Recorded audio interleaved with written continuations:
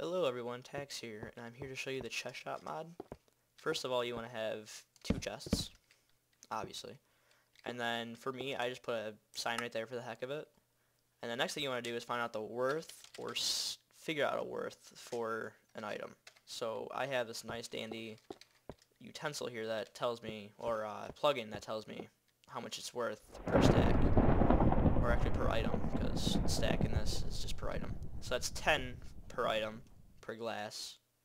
And so what you want to do is you want to go like this, put that down, and since I'm an admin, I'm going to go like this, admin shop, and then 64 by um, 10, 10, and then right down here I want to put glass. And so now it's a shop specifically created. So now whenever I click on this, so slash game mode, well since I'm in, well, also failed, game mode, Taxpayne, one. Since I did that, now I can go like this, and I can right click it to buy 64 glass, or left click it to sell 64 glass. And so over here, I have at I have the iron ore, gold ore, diamond ore, stone, cobblestone, and diamond. That's already out.